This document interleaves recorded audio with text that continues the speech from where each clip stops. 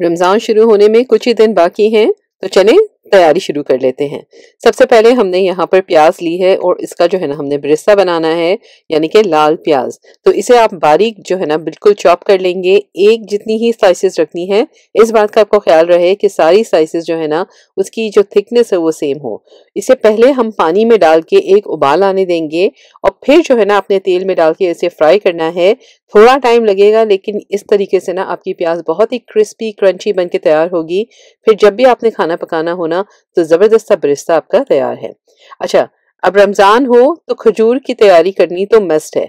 इसमें यह है कि अगर आप खजूर में से सीड निकाल लेते हैं, बीच में थोड़ा सा पीनट बटर भर देते हैं, फिर इसे चॉकलेट में डिप करें और क्रश पीनट्स में इसे डिप करें ना तो आपको लगेगा जैसे कि स्निकर बार खा रहे हैं। और रमज़ान में ये है कि छोलों की चाट वगैरह तो बनती ही है।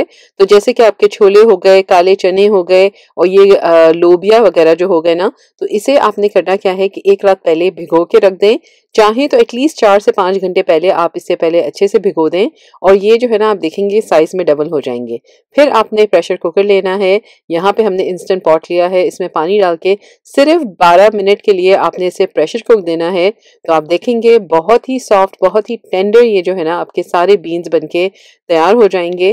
तो इससे आसानी ये होगी कि अब जो है ना आपने इसके छोटे छोटे पैकेट्स बना लेने हैं और पूरा इसको ठंडा जब ये हो जाए तो पैकेट बना के आप इसे फ्रीज़र में डाल दें। हम तो यहाँ पे ये भी लिख देते हैं कि कितने कप्स डाले हैं और कितना वज़न है। तो यह है कि जब भी कोई रेसिपी यूज़ करनी हो तो हमें पता हो। और कोई फ्राई आइटम घर में हो या ना हो, लेकिन शामी कबाब का होना तो मस्ट है। ये है कि ना सिर्फ़ इफ्तारी में, बल्कि शहरी में भी ये जो है ना, बहुत ही ज़्यादा काम की चीज़ है। और इसको भी ये है कि सारे मसाले डाल के, कीमा, दाल वगैरह डाल के ना आपने प्रेशर कुक देना है। पानी इसका अच्छे से ड्राई हो जाए तो फिर हम इसमें प्याज वगैरह डालकर, हरा धनिया डालकर इसकी इस तरह से टिक्कियाँ बना लेंगे। और इसे जो है ना, आप इस तरह से छोटे छोटे पैकेट बनाकर भी फ्रीज कर सकते हैं। अच्छा एक और चीज़ बनाएँगे कि ज़बरदस्त सा ये जो है ना स्पाइस मिक्स है। होता यह है कि कभी कभार काम में इतने मसरूफ़ होते हैं कि एक एक मसाला निकाल कर उसे अलग से मेजर करके डालना में ना सुस्ती हो जाती है। ऐसा होता है कि भाई, अब कौन सारे मसाले निकाले और कुकिंग को आसान करने के लिए ना आप ये एक ऑल स्पाइस मिक्स का जार बना के रख लें। तो फिर ये होगा ना कि आपको जब भी खाना पकाना हो, एक चम्मच इसकी डाली, अदरक लहसन का पेस्ट डाला, प्याज टमाटर डाली और आपकी जो है ना चीज़ बन वो तैयार हो जाएगी। तो इसका भी एक जार बना के रख लें। काफ़ी आसानी होती है, इसमें सारे ही मसाले हैं तो इससे भी जो है ना आपका खाने का जो फ्लेवर है ना, बहुत ही ज़बरदस्त इन्हेंस होने वाला है। जहरी का टाइम हो और पराठे ना बने, ऐसा तो हो नहीं सकता। तो ये है कि घी का भी काफ़ी इस्तेमाल होता है। तो घर में ही आप घी को आसानी से जमा सकते हैं। बड़ा अपने हैवी विपिंग क्रीम का जो बॉक्स लेना है, इसे इतना फेंटेंगे ना कि उसका जो है पानी वो अलहदा हो जाए। अगर ये स्टेप नहीं करना तो आप आसानी से बटर भी ला सकते हैं और उसके साथ भी यही प्रोसेस कर सकते हैं। बेसिकली विपिंग क्रीम का जो है ना, हमने बटर निकाल लिया है और इसे अच्छे से धो करना अब हम एक देगची में डाल देंगे और इसे मेल्ट होने रख देंगे। तो जब ये अच्छे से मेल्ट हो जाएगा फिर जो है ना, आप देखेंगे कि इसके मिल्क सॉलिड जो हैं, वो सेपरेट हो जाएँगे और इसका कलर हल्का सा चेंज हो जाएगा। तो चाहे तो हल्का लाइट कलर हो, तब आप इसे निकाल लें। हमने इसे थोड़ा सा ज़्यादा डार्क किया था, क्योंकि उसमें जो है ना, एक अच्छी सी कैरमल की एक खुशबू आती है, जो इतनी मज़े की लगती है। और फिर आप इसे छान लें, इसे छोटे छोटे जार्स में भर लें तो होम मेड घी आपका बन के तैयार है और फिर पराठों की तो मज़े ही मज़े हैं। अच्छा कुकिंग की बात करें तो आपको पता ही है कि हमारे देसी खानों में अदरक लहसुन का पेस्ट कितना इस्तेमाल होता है, यानी कि बहुत ही ज़्यादा।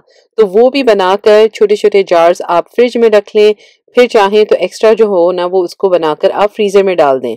तो ये आसानी इतनी ज़्यादा हो जाती है कि खाना पकाना बहुत ही क्विक और फटाफट सा हो जाएगा। बड़ा सा आपने एक चॉपर लेना है, उसमें हम लहसन डालेंगे, अदरक डालेंगे। लहसन की मकदार अदरक से थोड़ी सी ज़्यादा रखेंगे। अच्छा इसमें पानी नहीं डालना, तेल डालेंगे, साथ में थोड़ा सा नमक। और फिर आपने इसे पीस लेना है। फिर इसके आप छोटे कंटेनर्स बना लें जैसे कि एक बॉटल हम बनाकर फ्रिज में रख लेते हैं और बाकी का जो भी बच जाएगा ना तो उसे जो है हम वो फ्रीज़र में डाल देंगे। फिर जब भी ज़रूरत हो तो उसे निकाल के आप यूज़ कर सकते हैं। दही भी एक ऐसी चीज़ है जो अक्सर बल्कि रोज़ ही इस्तेमाल होता है, यानी कि चाट वगैरह हम अक्सर ही बनाते हैं तो उसके लिए ये है कि ढेर सारा दही हो तो बहुत आसानी हो जाती है। तो यहाँ पे जैसे ही दही का कंटेनर जो है ना आपका ख़त्म होने लगे ना तो उसका जो थोड़ा सा दही बच जाए, वो निकाल के हम साइड पे रख लेंगे, फिर उसे आपने अच्छे से जो है ना फेंट लेना है। यानी कि इसी कंटेनर में आप इसे अच्छे से फेंट लें और फिर जो है उसमें हम डालेंगे नीम गर्म दूध तो दूध जो है बहुत ज़्यादा ठंडा ना हो और ना ही बहुत ज़्यादा गर्म।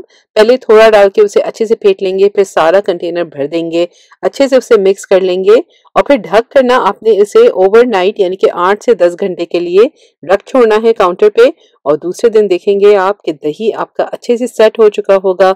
इसे फ्रिज में रख लें, ठंडा कर लें तो होम मेड दही जो है ना आपका बनके तैयार है। और ना सिर्फ़ रमज़ान के महीने में, बल्कि साल के हर महीने में इमली की चटनी बनी हुई घर में मौजूद होनी तो मस्त है। तो इसके लिए ना आपने एक इमली का पैकेट लेना है, इसे पानी में डाल के हम इसका घोल तैयार कर लेंगे और उसकी जो सीत वगैरह है ना, वो सारे के सारे आपने अलहदा कर देने हैं। फिर इसका जो ये आपका पल्प बच जाएगा ना तो इसे हमने अब चूल्हे पे डाल के इसमें हम बहुत ही सिंपल सी चीज़ें डालेंगे, जैसे कि गुड़ डाल दिया, ज़ीरा डालेंगे, लाल मिर्ची पाउडर और नमक डाल के इतना पकाना है कि सारी चीज़ें अच्छे से इसमें घुल मिल जाएँ और एक बार इसे जोश आ जाए तो आप इसके कंटेनर्स बना के रख लें। एक छोटी बॉटल हम फ्रिज में रखते हैं। बाकी की सारी जो चटनी है, आप इसे फ्रीज कर दें। तब आप भी बनाएँ और अपने प्यारों को खिलाएँ।